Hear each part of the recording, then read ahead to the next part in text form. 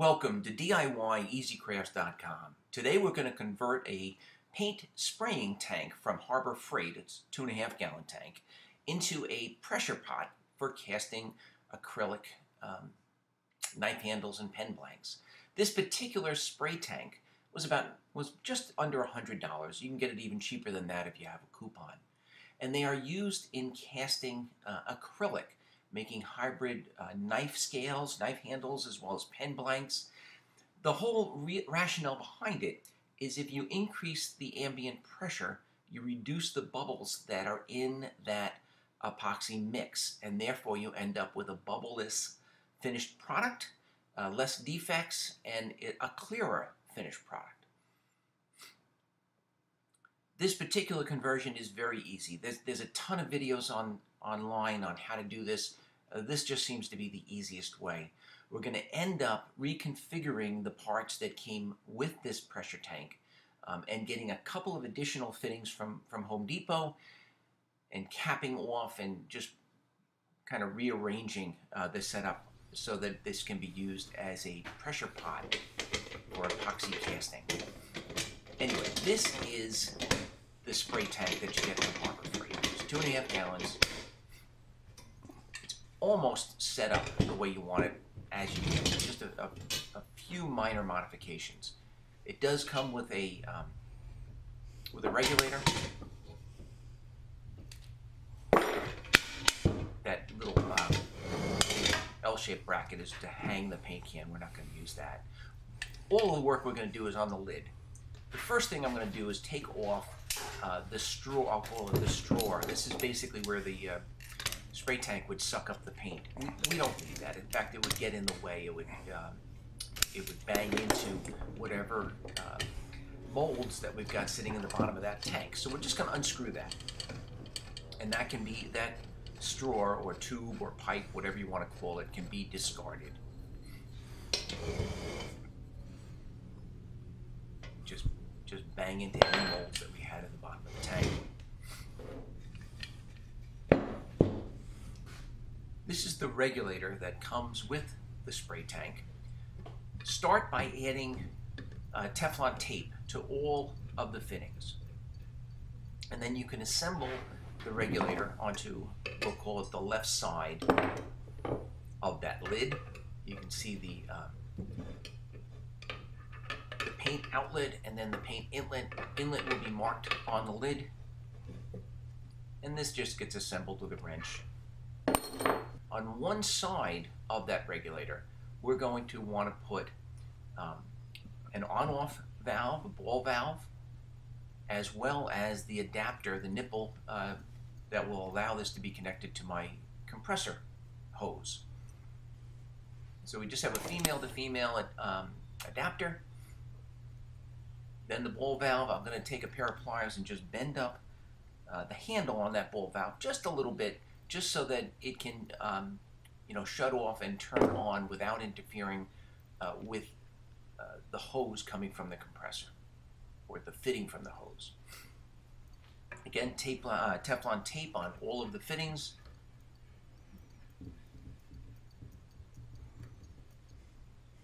And actually what I did was I took this whole hand, uh, top lid assembly um, with me to Home Depot and I walked into the plumbing aisle and I just found a couple of fittings that I needed uh, that fit you know the different components. Um, and it was only you know four or five different little components that I had to buy.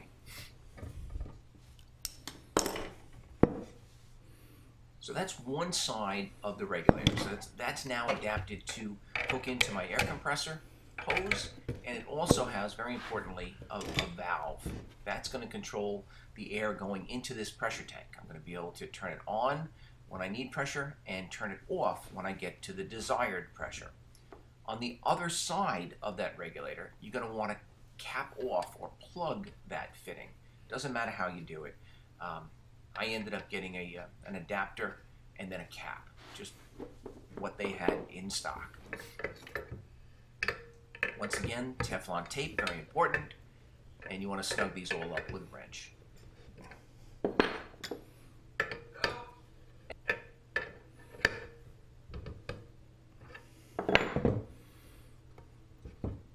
That's the on-off valve, the cap on the other side, and this is the overpressure relief uh, valve.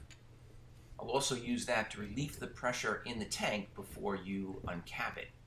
The regulator itself, we're really not going to use. That, that was designed uh, to control the pressure in which you're spraying paint.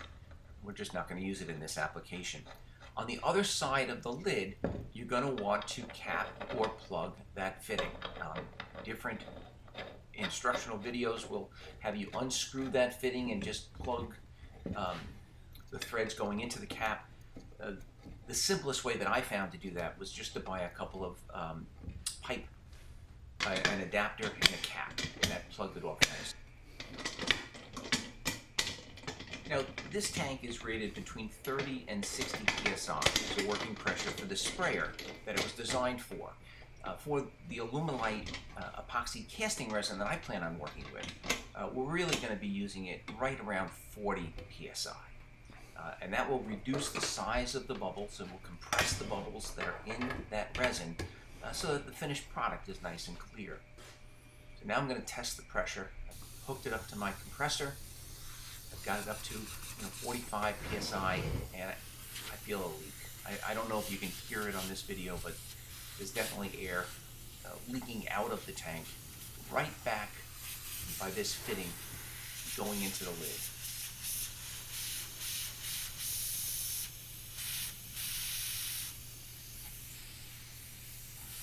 Don't feel I don't feel any air coming out anywhere else. So I'm going to purge this. I've turned off the air to my compressor. I'm going to use this uh, pressure relief valve just to purge the air that's inside the tank before I uh, unclamp it. If you if you attempted to unclamp this thing while it still had pressure, uh, that would definitely be a that would definitely be a problem. You always want to release all of the pressure before you take the cap the uh, lid off. The problem is I can't unscrew that fitting because of this uh, welded flange onto the lid with uh, tapped holes for the handle. So I'm actually going to use a disc grinder I'm just going to reduce the height of that. I'm not even going to cut it off all the way. Um, I don't think I'm ever going to use that handle, but, but just in case, I'm just going to take off about a quarter of an inch.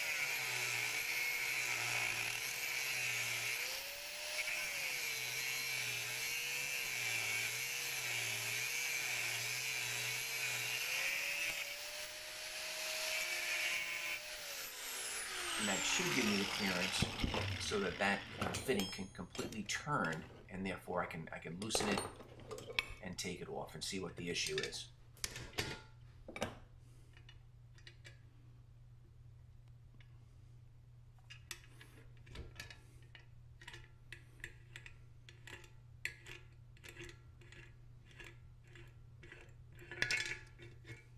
and actually I can see what the issue is already.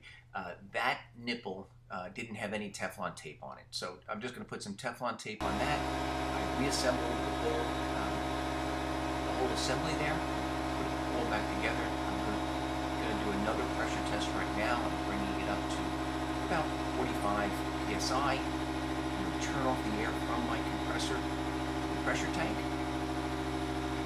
And I would actually let this sit here for about 20 or 30 minutes to see if it was holding pressure. I don't hear any air coming out. That gauge is holding its pressure nicely. So, so this is basically a finished product. You've got a nice two and a half gallon uh, pressure pot that can be used for casting a variety of different do-it-yourself uh, hobby products that are uh, cast resin. Uh, perfect for knife handles or knife scales, for pen blanks, uh, for other uh, wood turning crafts. And this is a, a quick look at, at each part, that pressure relief, the cap, the on-off uh, ball valve on the other side of the regulator.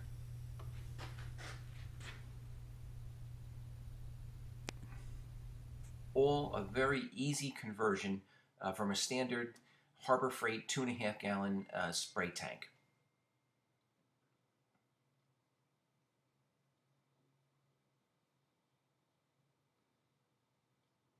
Uh, please check us out on the web at DIYEasyCrafts.com. Be sure to check out our other knife making videos. And if you like this video, I ask that you please give it a thumbs up and subscribe to this YouTube channel. If you're on Facebook, by all means check us out on Knives and Knife Making, which is our Facebook group. Thank you.